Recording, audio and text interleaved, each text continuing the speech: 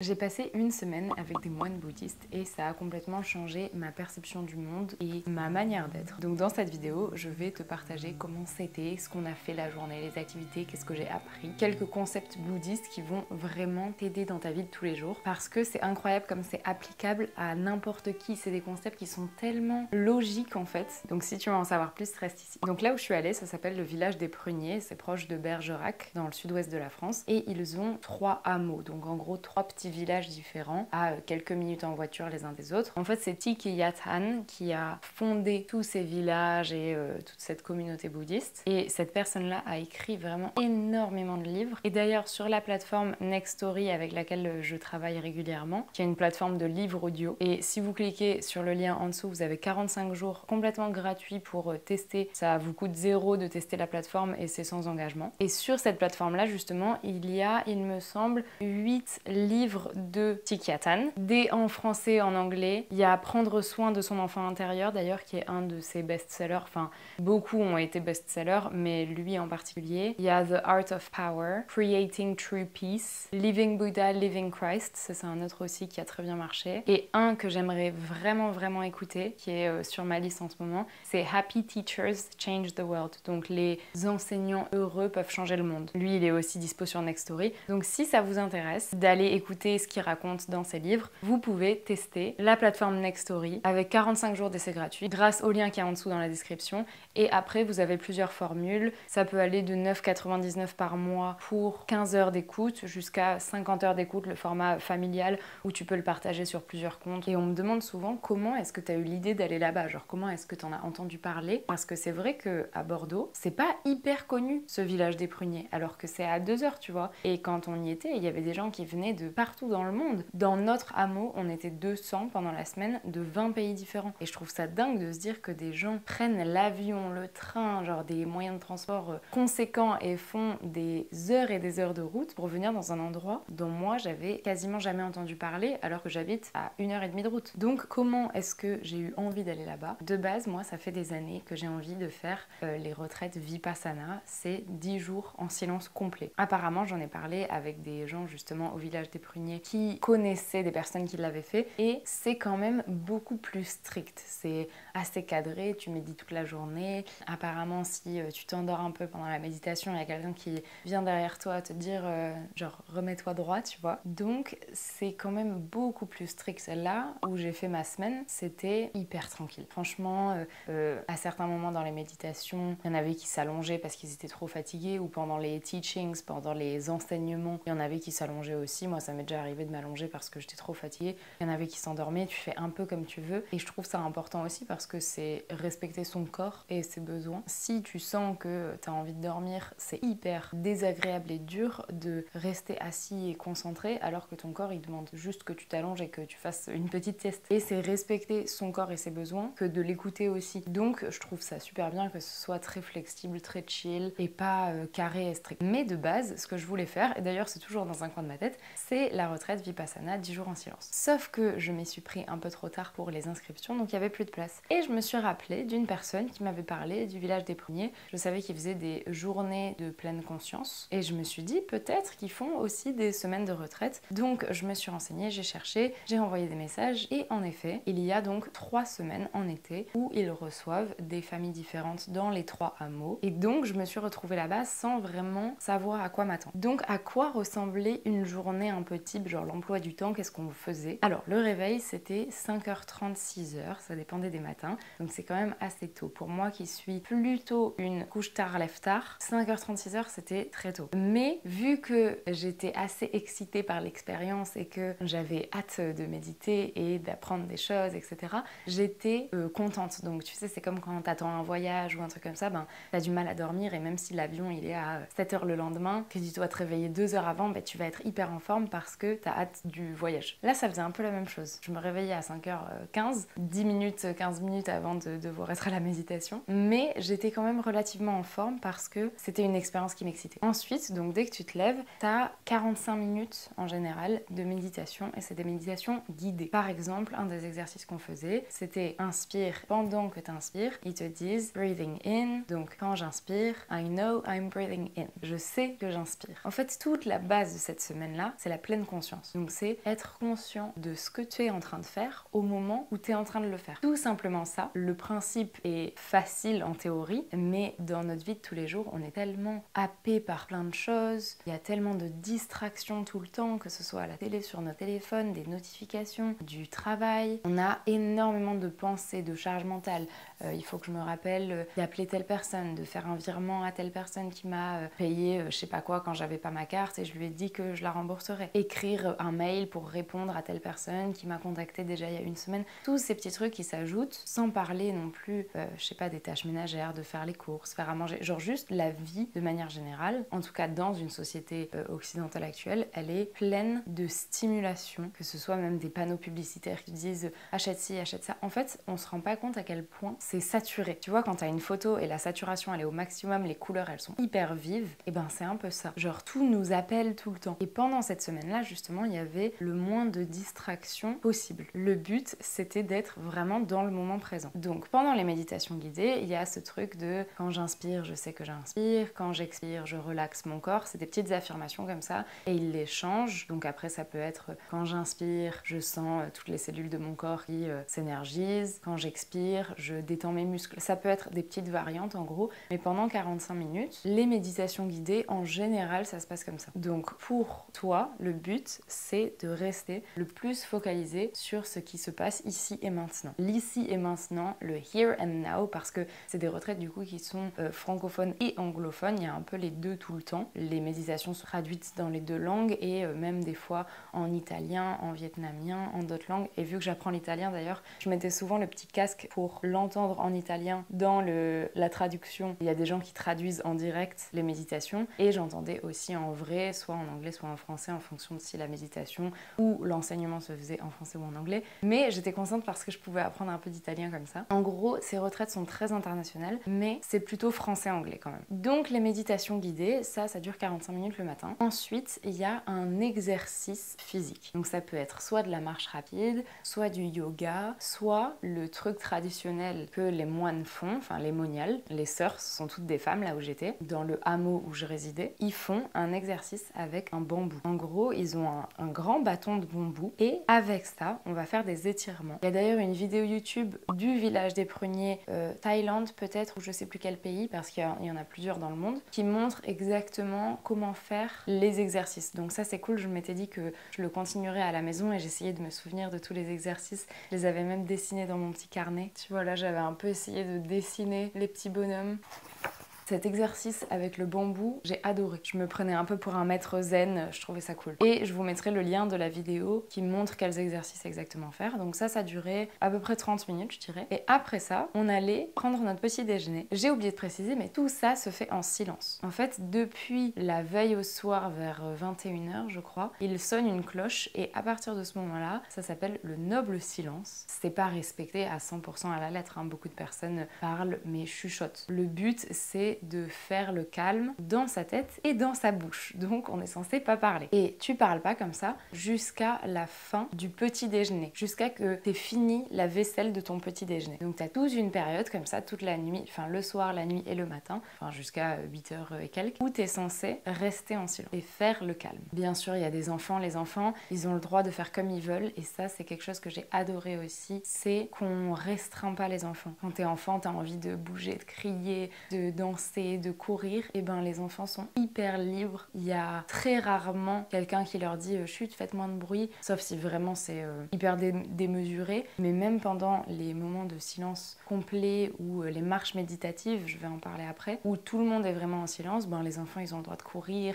de rigoler, de chanter, de. En fait, ils font ce qu'ils veulent et j'ai beaucoup aimé ça. Le fait que les enfants soient dans un endroit en sécurité où ils sont entre eux, ils peuvent rigoler. Bien sûr, il y a des sortes d'animateurs, en gros des personnes qui, pendant que les parents sont euh, en train de méditer ou sont en train d'apprendre les enseignements bouddhistes, etc., il y a des animateurs, en tout cas des personnes qui vont s'occuper des enfants. Ça peut aussi être certaines démoniales qui vont euh, s'occuper de, des enfants, du groupe d'enfants. Mais en fait, tout se passe quand même sur le même euh, domaine, entre guillemets. Enfin, c'est plusieurs petites maisons, enfin, deux, en gros, deux grosses maisons et un grand, grand, grand jardin, une salle de méditation un peu plus loin, un bloc sanitaire. Enfin, en gros, c'est un peu comme un camping, tu vois, mais un camping bouddhiste. Enfin, moi, c'est la sensation que j'ai eue. Donc, c'est super chill. Les enfants, ils peuvent aller voir leurs parents euh, quand ils veulent. Il y a des temps où ils sont euh, censés faire des activités justement avec les autres enfants, mais c'est, je trouve, un endroit hyper, euh, en tout cas, c'est la sensation que j'ai eue, hyper safe et hyper sécurisant et hyper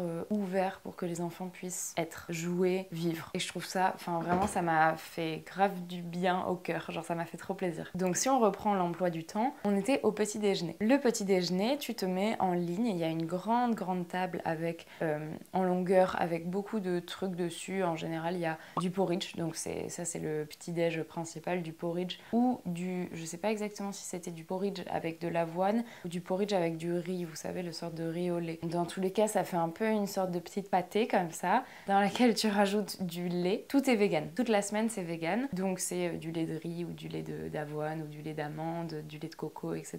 Donc tu rajoutes ton lait et par-dessus, tu peux mettre du beurre de cacahuète, il y a de la confiture de prunes forcément parce qu'ils ont plein de pruniers. Il y a de temps en temps du pesto maison qui font avec des graines de tournesol. Il y a du pain aussi si tu veux te faire des tartines. Il y a des petites galettes de riz. Il y a des cranberries, des petites graines de tournesol si tu veux mettre un peu de trucs croquants par-dessus. Il y a des pommes et des oranges, mais je pense que ça dépend des saisons. En tout cas pour les retraites d'été, enfin là moi c'était comme ça. Donc tu te prépares un petit peu ton petit déj, sachant que moi c'était pas mon repas préféré. Tu vois genre ça va, c'est bon, c'est pas mauvais, mais je vais en parler après. Les autres repas étaient vraiment hyper bons et le petit déj moins pour moi en tout cas. Et donc ensuite, tu avais ta petite assiette de petit-déj et t'allais t'asseoir, soit euh, près de la cloche, tu vois, il y avait des marches, il y avait une énorme cloche avec des marches, donc souvent les gens déjeunaient, enfin petit déjeuner ici, ou alors il y avait des tables, tu pouvais aller te mettre à une table dehors. Il faisait super beau pendant cette retraite, donc on était vraiment en extérieur la majorité du temps. Si tu veux, tu peux te mettre à l'intérieur aussi. Et tu petit déjeunes en silence complet. Et j'avoue que c'est incroyable à quel point le, les aliments sont meilleurs, vraiment meilleurs en bouche. Ils ont meilleur goût de par le fait que tu portes toute ton attention dessus et pas euh, sur euh, une conversation que tu es en train d'avoir, sur des pensées que tu as, sur ce que tu dois faire avant, après.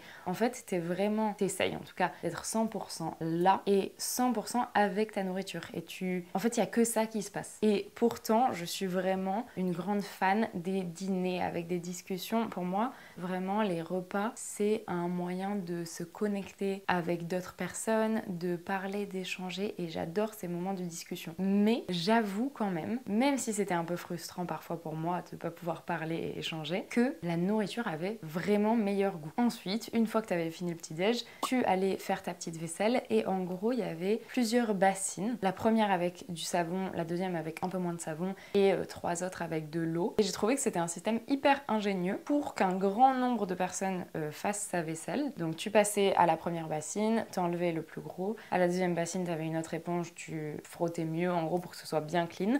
Et après, tu rinçais dans la première bassine, la deuxième, la troisième pour que ce soit à la fin de l'eau claire. Et après, tu l'amenais à un endroit pour que ça se fasse sanitariser, euh, désinfecter en gros. C'est dans des grosses machines, il me semble que c'est avec de la vapeur ou avec des UV, je sais pas trop. Mais voilà. Après, la matinée, il y avait souvent, parce que là en fait on a l'impression qu'on a fait plein de trucs, mais vu qu'on se réveille à 5h30, la fin du petit-déj c'est genre 8h30 quoi. Donc en fait c'est encore que le début de la matinée. Et là on faisait une marche méditative. Donc le principe c'est de se concentrer sur le dessous de ton pied et le contact avec le sol. Et c'est tout. Et c'est assez dur d'ailleurs de se concentrer que sur ça. Et pendant la marche, forcément tu vas penser à d'autres choses, mais tu vas toujours revenir. Tu vois, tu vas toujours te dire mince, je pense à autre chose et hop, tu te remets dans ta plante de pied. Genre tu te remets dans ton corps. Et le but c'est justement de réussir à se rendre compte quand nos pensées elles partent et quand notre cerveau il part un peu n'importe où, de réussir à se dire ok, je reviens dans le ici et maintenant. Et donc pendant euh, une heure à peu près, on marche. À un moment, on s'arrête d'ailleurs et on s'assoit pour regarder le ciel, les nuages. C'est sur une sorte de petite colline, donc on s'assoit en haut de la colline, c'est super joli. Parce que je me souviens d'une sœur qui nous disait justement, tu peux pas te concentrer et sur ta plante de pied pendant que tu marches et en même temps sur les oiseaux, le ciel bleu, les feuilles vertes, euh, les choses magnifiques qui C'est pas possible de se concentrer sur plein de choses à la fois comme ça. Donc elle disait, pendant qu'on marche, on se concentre sur notre plante de pied et ensuite on s'arrête et on observe et on se concentre sur ce qu'il y a autour de nous. On peut s'asseoir et on observe, on regarde. Mais quand on marche, en gros, on essaye de se concentrer juste sur sa plante de pied et sa respiration. Il y en avait une qui nous disait qu'elle faisait trois pas pour une inspire, trois pas pour une expire. 1, 2, 3, elle inspire. 1, 2, 3, elle expire, 1, 2, 3, etc. Mais elle disait ça, c'est à vous de trouver votre propre ratio en fonction de si vous avez plus de souffle, moins de souffle. Moi, de temps en temps, je me concentrais même pas sur mon souffle, je me concentrais juste sur ma plante de pied, donc j'essayais pas de conscientiser ma respiration. Mais ça, c'était hyper cool, vraiment une de mes activités préférées, hyper ressourçant. Et ça, je me suis vraiment dit, quand je rentre chez moi dans la vie normale, en gros, je veux vraiment garder ce truc de quand je marche, penser à mes pas. Une des sœurs aussi disait, c'était plutôt pour les enfants, d'imaginer une fleur qui fleurit sous chacun de nos pas. Et donc d'observer bien le sol et où est-ce qu'on mettait nos pas. C'est vrai qu'il y avait plein de petites fleurs là-bas et de jolies herbes, etc. Donc à chaque pas, observer quelle serait la fleur en gros qu'on fait pousser, mais qui est déjà sur le sol, tu vois. Mais c'était plus pour focaliser l'attention sur observer les herbes et les pas que tu fais. En tout cas pour les enfants, apparemment ça les aidait à comprendre ce truc euh, du moment présent et focaliser l'attention juste sur les trucs qui sont ici et maintenant, sur les fleurs qui sont là et pas sur euh, des angoisses du passé, des peurs pour le futur, etc. Ensuite, il y avait aussi du temps à ne rien faire. D'ailleurs, c'est quelque chose de très important pour euh, eux, les bouddhistes, c'est le fait de juste être. Et c'est vrai que dans notre société de consommation, de production, de capitalisme au max, on n'a pas quasiment jamais de temps pour ne rien faire, pour juste être. Mais en fait, je pense que c'est aussi se reconnecter avec notre vraie âme d'humain, notre vraie nature, que de prendre du temps pour juste chiller, vivre, tu vois, mais vivre sans avoir un, but précis, un truc à faire, genre juste être. Donc il y avait beaucoup de temps de rien, entre guillemets. Et pendant ces temps-là, il y en avait qui écrivaient, il y en avait qui lisaient, il y en avait qui faisaient des siestes, il y en avait qui juste ils étaient dans le jardin, ils se baladaient, ou alors ils étaient assis quelque part et c'est tout. Donc tu peux faire un, peu comme tu veux. Il y en avait qui organisaient des petits cours de danse, ou il y en avait qui discutaient. Enfin, c'était vraiment hyper euh, serein. Le midi, toujours pareil, la queue, ça se fait en silence. Donc il y a toujours cette grande table avec plein de trucs dessus. Et tu prends ce que tu veux en silence pour après aller manger dehors. Donc le midi et le soir, en général, c'était des plats vietnamiens parce que cette communauté bouddhiste, elle est originaire du Vietnam. Pas tous, il y avait des Indonésiens, même des euh, Québécois français, des moines euh, québécois français. Mais à l'origine, ceux qui ont créé ça, ils viennent du Vietnam. J'en ferai d'ailleurs, je pense, une vidéo qui raconte un peu toute l'histoire parce que je trouve ça hyper intéressant. Et donc, eux, ils avaient des proches qui venaient tout l'été, là, pendant les euh, un mois de retraite, enfin trois semaines, euh, quatre semaines de retraite, et qui préparent, avec certaines sœurs, qui préparent de la nourriture pour tout le monde. Et en général, c'est quand même plutôt bon. C'est des plats un peu typiques vietnamiens. Il va y avoir des soupes avec des nouilles de riz. Il va y avoir, le dernier jour, on a eu des nems qui étaient délicieux. En fait, il y a aussi beaucoup de fruits et légumes, euh, du tofu de temps en temps. Moi, je suis pas hyper fan, ni pour le goût, ni pour les propriétés nutritives. Mais bon, euh, voilà, ça m'a pas du tout dérangé pendant une semaine. Genre, c'était très bon quand même. Donc, ouais, beaucoup de fruits et légumes, euh, des lentilles de temps en temps, des pois chiches. C'est quand même euh, plutôt bien équilibré et bon surtout. Il y avait beaucoup de riz aussi. Donc, le midi, ça pouvait être du riz et des petites carottes coupées, du concombre, de la salade, genre un peu plein de trucs mélangés. Et le soir, c'était plutôt des soupes avec, pareil, plein de trucs différents, mais c'était bon, genre bien assaisonné et tout. L'après-midi, on avait ce qu'ils appelaient des teachings. En gros, c'est des enseignements où ils nous apprennent des concepts de bouddhisme pour euh, être plus en pleine conscience, réussir à dépasser sa colère et à accepter ses émotions qui sont pas forcément agréables et en fait plein de techniques dont je parlerai aussi. Donc ça, c'était toujours très très enrichissant. Et après, un peu plus tard dans l'après-midi, on avait des groupes en gros où on discutait entre nous. Je crois que ça s'appelait partage du dharma. Et en gros, c'est juste qu'on était par groupe de 15 à peu près. Nous, on était qu'avec des francophones. Il y avait deux groupes de francophones et euh, je crois quatre ou cinq groupes de internationaux. On s'entendait bien dans mon groupe et donc on parlait. C'est pas juste une discussion comme euh, t'as avec tes copines, tu vois, quand je vois mes copines et qu'on parle, rebondit sur plein de sujets différents, etc. Là, il y a vraiment un peu comme une procédure pour prendre la parole, pour parler. Genre vraiment, c'est on est en cercle et chaque personne parle vraiment chacun son tour. T'attends bien que la personne ait fini. Il y a souvent des longs blancs entre que chaque personne prenne la parole pour être sûr que la personne ait bien fini ce qu'elle avait à dire. Chaque personne qui parle aussi prend vraiment le temps de parler. Et ça, ça m'a marqué à quel point on parle vite en fait. Et moi, je sais que j'ai tendance à parler assez vite. Donc là, je fais un effort pour mes vidéos de me calmer. Mais je reçois souvent des commentaires de personnes qui me disent Ah merci, avec toi, euh, je, je, je mets plus la vidéo en x2 parce qu'ils l'habitude de mettre les vidéos sur YouTube en x2, mais vu que je parle déjà trop vite, ils peuvent pas la mettre en x2. Donc là, j'essaye de me poser et de parler plus lentement, mais c'est clairement grâce à cette semaine-là euh, de pleine conscience parce que en fait, ils prennent le temps là-bas. Tu vois, quand une sœur elle prend la parole, et eh ben elle va parler en pleine conscience. Tu sens que quand elle parle, elle met de l'intention dans ce qu'elle dit. C'est pas juste blablabla, machin, on fait ci, on fait ça. Pas du tout. C'est hyper euh, posé, calme et tu sens que chaque mot est bien choisi. Et il y a des blancs dans la phrase exprès pour mettre de l'air et de l'espace et être en conscience, en gros. Donc ça aussi c'était sympa. On parlait de plein de choses différentes, des expériences de vie, de voilà, de plein de choses. C'était très enrichissant aussi. Et puis le dîner était à 17h45. Donc encore une fois, c'est toujours le même truc avec la grande table. Tu te sers ce que tu veux, tu manges en silence. Ah, j'ai oublié de dire que le midi en général, c'était des midi pique-nique, ils appellent ça. Donc tu peux te mettre un peu n'importe où pour manger alors que le soir, on était plutôt justement avec notre groupe de 15 personnes là francophones, enfin avec le groupe qui t'avait été assigné au début de la semaine. Mais le midi, tu pouvais te mettre un peu n'importe où tu voulais et surtout, c'était pas en silence. Et j'ai remarqué en effet que les midis, souvent, je les trouvais beaucoup moins bons niveau goût que les dîners. Et je pense que c'est vraiment le fait que tu mettes ta conscience dessus pendant le dîner et que le dîner, les 20 premières minutes sont totalement en silence. Donc en gros, euh, la majorité du repas quand même. Et le midi, tu peux discuter, tu t'assois avec qui tu veux, tu discutes. Et en effet, le soir, je trouvais ça vraiment bien meilleur. Je suis convaincue vraiment que la conscience que tu mets dedans, ça fait en sorte que le goût du plat est plus agréable ou moins agréable. Et donc oui, le soir, euh, on mangeait comme ça euh, avec notre groupe. Après, il y avait le même principe de vaisselle avec les bassines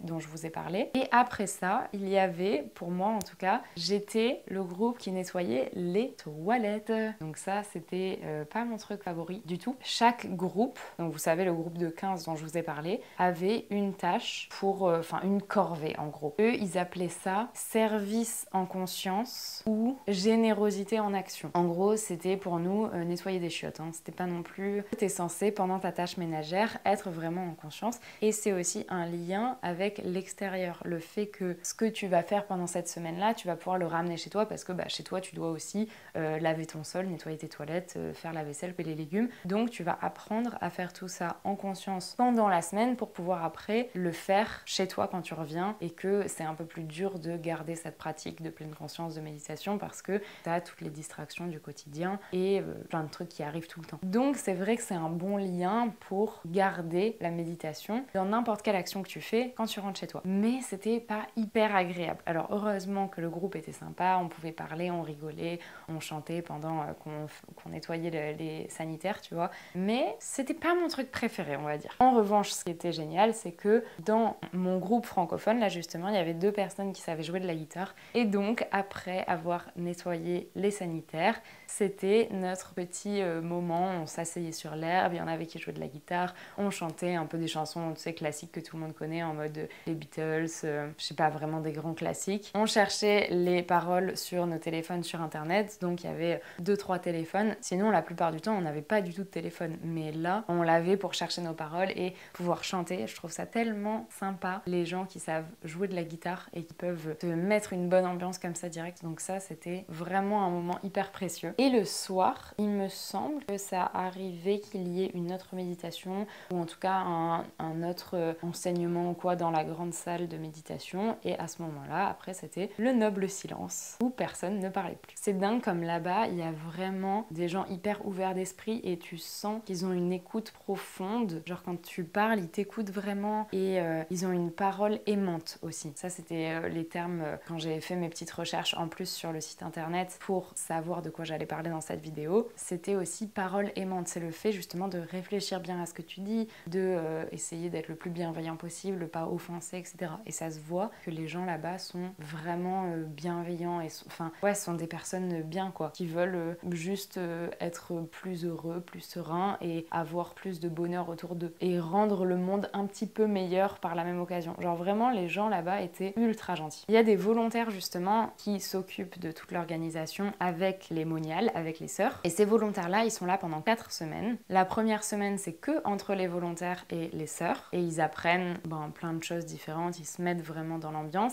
Et ensuite, les 3 semaines qui suivent, donc il y a des familles et des personnes comme moi qui y vont. Et donc il y a 3 semaines de retraite. Mais ça change à chaque fois, chaque semaine. Genre t'as pas le droit de faire deux semaines d'affilée parce qu'il y y a tellement de monde de toute façon qui demande que pour laisser la place à le plus de personnes possible, ben t'as le droit de faire qu'une seule semaine. Nous, on a réservé assez au dernier moment quand même parce qu'on est resté en van et ça a coûté 187 euros pour moi. Enfin, c'était par personne et c'était à moins 50%, moitié prix, parce qu'il y a souvent, euh, si tu es euh, demandeur d'emploi, si tu es étudiant, si tu as moins de 25 ans, voilà, il y a des circonstances où tu peux avoir une réduction. Donc 187 euros la semaine, tout compris, sachant que du coup, je dormais dans mon van, mais juste à côté, tu vois, tu avais un petit parking sous les arbres, vraiment à côté des petites herbes aromatiques et de leur petit potager. Et euh, tu traverses la route et tu as leur hameau. Donc c'était vraiment juste à côté, très pratique. Et ouais, 187 euros la semaine, c'est quand même très raisonnable, je trouvais. Sachant que si forcément tu veux dormir dans leur logement, c'est plus cher, mais ils ont aussi un grand espace camping où tu peux emmener ta tente, donc là c'est moins cher. Et oui, sachant aussi que ils font, enfin les trois semaines d'été, c'est vraiment les trois semaines où il y a le plus de monde. Il y a environ 1000 personnes par semaine sur les trois hameaux. Et après, les moniales, elles vont, et les moines, ils vont vivre de cet argent toute l'année. Enfin, il y a un peu des retraites toute l'année, il y en a en hiver, il y en a à Pâques, etc.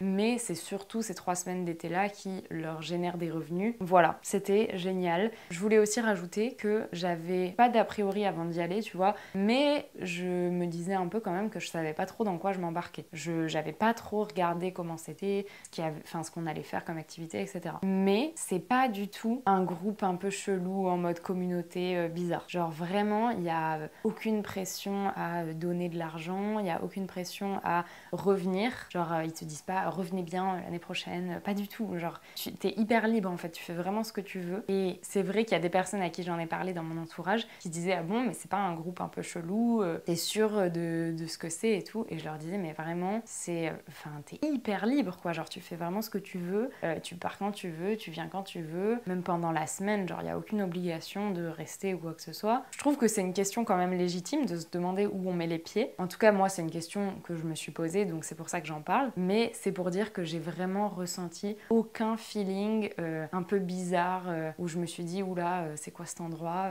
vous voyez ce que je veux dire? En gros hyper chill hyper sain hyper serein c'est un endroit vraiment pour que les gens se sentent mieux pendant cette semaine là mais aussi qu'ils arrivent à ramener des outils chez eux après les 7 jours pour pouvoir pratiquer la pleine conscience la méditation et être plus heureux dans leur vie de manière générale c'était génial je vais faire je pense 3 ou 4 vidéos sur ce sujet du bouddhisme pour vous en apprendre un peu plus aussi sur les concepts, sur ce que j'ai appris, sur ce qui peut aider aussi. Donc abonnez-vous si c'est quelque chose qui vous intéresse. Je vais aussi faire, je pense, une vidéo sur l'histoire de l'homme qui a euh, créé ce centre et euh, toute sa vie et comment ce centre est né, un peu du truc. Donc si ça vous intéresse aussi, abonnez-vous. Je vous fais plein de bisous, merci d'avoir suivi la vidéo. À la semaine prochaine, dimanche 17h30 sur YouTube et tous les jours sur Insta. Ciao